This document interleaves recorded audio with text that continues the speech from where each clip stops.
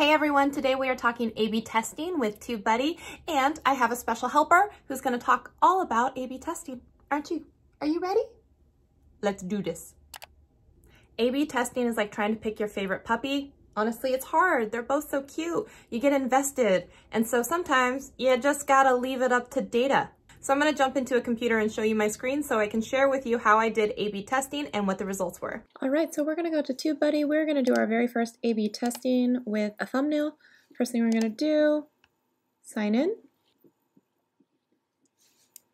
I'm gonna go to my channel, and then what we're gonna do is go click on this A-B test. We're gonna create an A-B test.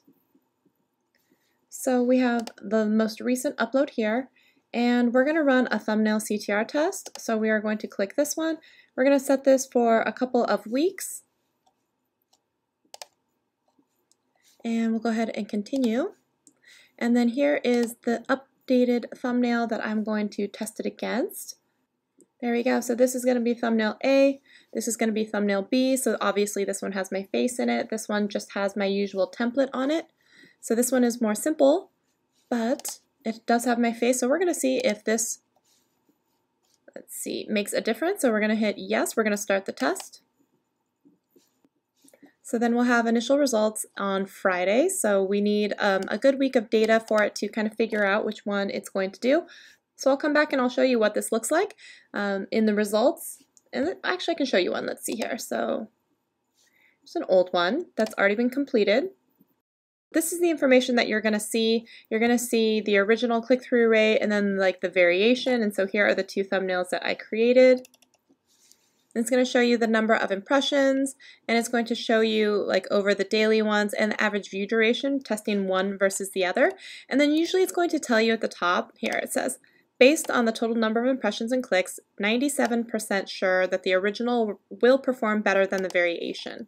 So this is the original, this was the variation that I had, so this tells me that I should stick with the original, which I did.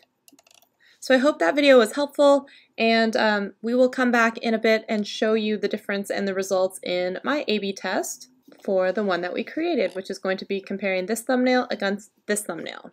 Two weeks later.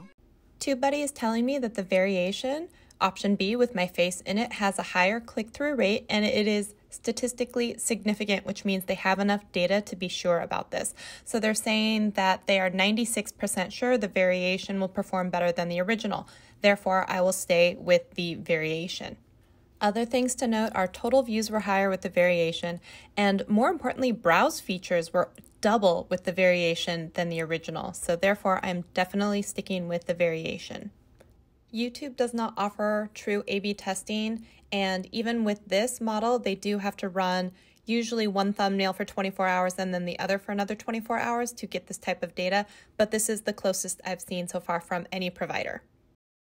So keep in mind that A-B testing is a perk that is only on the Legend version of TubeBuddy. So if you want a discount on TubeBuddy service, you can check out the description box and I'll also put it right here on the screen for a discount code for as long as you want to stay with TubeBuddy. I hope this answered some questions for you on how it's done. If you have additional ones, make sure you drop it in the comments and I will see what I can do to answer that question for you.